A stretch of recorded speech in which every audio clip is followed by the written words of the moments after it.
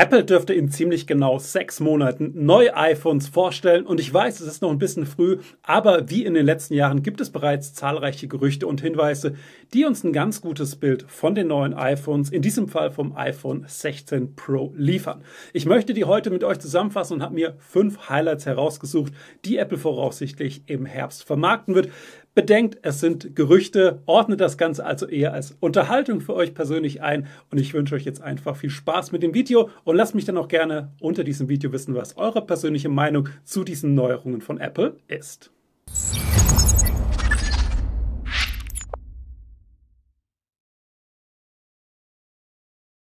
Und wir fangen direkt mit der ersten großen Neuerung oder Veränderung in diesem Jahr an, denn es wird voraussichtlich zwei komplett neue Größen bei den Pro-Modellen und auch nur bei den Pro-Modellen geben, denn wir sprechen angeblich über 6,3 und 6,9 Zoll. Bedeutet, von den bisher 6,1 und 6,7 Zoll wird es ein Stück größer. Darüber werden sich einige freuen aber der ein oder andere könnte vielleicht auch an seine Grenze stoßen, wenn es um die Größe des iPhones geht. Es ist übrigens davon die Rede, dass es nicht ganz 6,3 und 6,9 Zoll werden, sondern dass Apple so ein kleines bisschen aufrundet bei den Zahlen, aber wovon man ausgehen kann in diesem Jahr, und das gilt auch relativ sicher, denn das behaupten mittlerweile mehrere Quellen, ist, dass wir größere Pro-Modelle im Herbst sehen werden. Und die zweite große Neuerung ist angeblich ein komplett neuer Knopf auf dem Rahmen des iPhones. Apple hat sich ja schon im letzten Jahr vom Mute-Switch getrennt und hat den Action-Button eingeführt, den man frei belegen kann, wie man das Ganze möchte. In diesem Jahr soll es einen komplett neuen Knopf geben, einen sogenannten Kameraknopf. Der bringt mehrere Funktionen mit. In erster Linie bedeutet es, dass wenn man die Kamera-App gestartet hat, durch ein leichtes Drücken das Foto oder das Video ein bisschen fokussieren kann und durch ein festes erstes Drücken wird das Ganze dann ausgelöst oder eben das Video entsprechend gestartet. Kennt man so von einer ganz normalen Kamera, kennt man auch teilweise schon von anderen Android-Smartphones. Die Xperia-Reihe ist da zum Beispiel sehr populär. Die hat das seit einigen Jahren schon auf dem Gehäuse. Es ist nicht unbedingt notwendig, dass man jetzt noch einen weiteren Knopf auf dem Gehäuse einführt, aber ich persönlich, der viele Fotos und Videos mit dem iPhone macht, finde diesen Schritt gar nicht mal so schlecht. Und wir bleiben bei der Kamera, denn da soll sich in diesem Jahr natürlich auch wieder ein bisschen was tun. Die Kamera ist ja mittlerweile mit der wichtigste Faktor bei einem neuen Smartphone. Und da heißt es, dass wir einen neuen und deutlich größeren Sensor für die Hauptkamera bekommen werden. Bedeutet mehr Licht, bessere Fotos, vor allem auch bei schlechtem Licht, weniger Bildrauschen, größerer Sensor. Ich glaube, da muss ich nicht viel dazu sagen. Die relativ schlechte Nachricht dazu ist, dass es nur beim Pro Max, Pro Max Modell wahrscheinlich den neuen Sensor geben wird und dass das kleinere Pro Modell nochmal den aktuellen Sensor aus letztem Jahr benutzt und dann wahrscheinlich erst das Jahr darauf den neuen und besseren Sensor bekommt. Also dass Apple weiterhin Pro und Max Modelle ein bisschen voneinander unterscheidet. Dafür soll es beim kompakten Pro Modell in diesem Jahr, also beim iPhone 16 Pro, endlich die Tetra Prisma Zoom Kamera geben, die Apple letztes Jahr mit dem Pro Max eingeführt eingeführt hat. Darauf freue ich mich persönlich ehrlich gesagt sehr.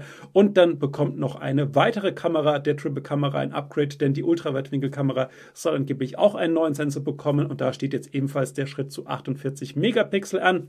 Und falls ihr euch jetzt fragt, Hauptsensor mit 48 Megapixel, ultraweit mit 48 Megapixel, was ist mit dem Zoom? Nun, Apple wäre nicht Apple, wenn man sich das Ganze nicht schön aufsparen würde.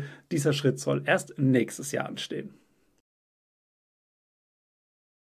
Neues Jahr, neuer Chip. In diesem Jahr steht das A18 Line-Up an. Warum 18 Line-Up? Letztes Jahr gab es noch den alten Chip im normalen iPhone und den A17 Pro für die Pro-Modelle. In diesem Jahr soll es einen A18 und A18 Pro geben. Die iPhone, das iPhone 16 Pro und Pro Max werden dann natürlich den A18 Pro bekommen. Es bleibt noch beim 3-Nanometer-Verfahren vom TSMC, welches Apple letztes Jahr eingeführt hat. Also das modernste und beste Verfahren von TSMC. Allerdings in einer optimierten und verbesserten Version.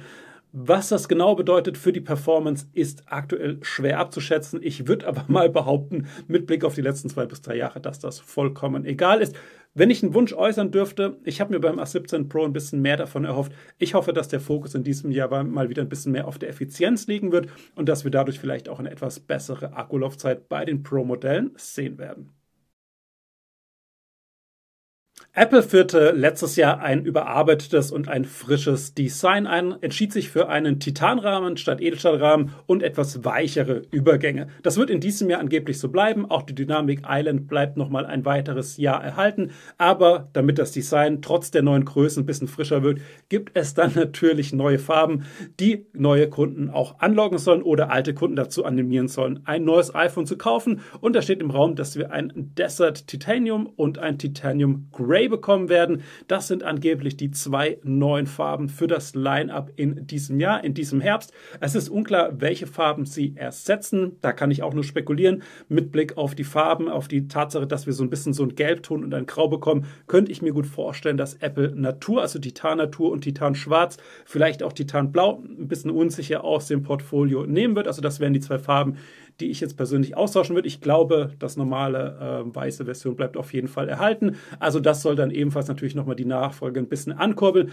Und dann müssen wir natürlich auch mal schauen, ob es vielleicht nochmal eine weitere Farbe im Frühjahr darauf gibt. Aber ich gehe davon aus, dass wir im Herbst zunächst wieder vier Farben zum Marktstart sehen werden.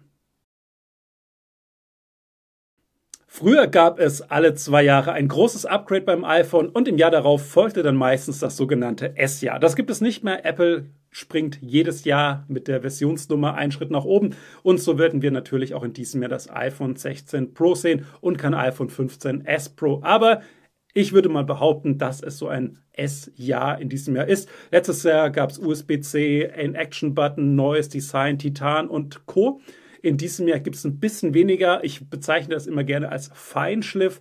Und im nächsten Jahr werden wir dann wahrscheinlich wieder einen etwas größeren Schritt sehen mit Face ID unter dem Display und anderen Neuerungen, bevor dann im Jahr darauf vermutlich wieder ein großer Schritt kommt. Also S-Jahr muss nicht unbedingt langweilig sein. Ich finde sogar ehrlich gesagt, dass die S-Jahre mit die besten Jahre beim iPhone sind, denn Neuerungen, die meistens eingeführt werden, wie zum Beispiel die Tetraprisma-Kamera und andere Dinge, werden meistens im S-Jahr dann nochmal verfeinert und verbessert, da Apple aus der Kritik der Nutzer natürlich lernt und das Ganze dann dementsprechend umsetzt. Also das kann durchaus sein, dass das iPhone 16 Pro ein durchaus spannendes Modell wird. Aber ich bin mal gespannt, falls die Gerüchte stimmen und wir neue Größen bekommen und die iPhones nochmal eine Ecke größer werden, ob die Kunden das dann dementsprechend annehmen werden.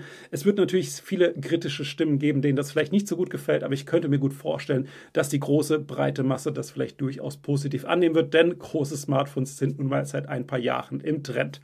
So, ich würde sagen, das dürften die fünf großen Highlights des iPhone 16 Pro sein. Ich werde mich dann natürlich etwas näher zum Launch nochmal genauer dazu äußern und dann nochmal alle aktuellen Gerüchte zusammenfassen. Aber ich glaube, das ist eine durchaus gute Preview für den Herbst in diesem Jahr. Und ich bedanke mich an dieser Stelle wie immer fürs Zuschauen. Wenn euch weitere Gerüchte rund um Apple interessieren, an dieser Stelle auch den Hinweis, werde ich euch unten verlinken. Ich habe noch einen eigenen Kanal, wo einmal die Woche ein Newsformat erscheint.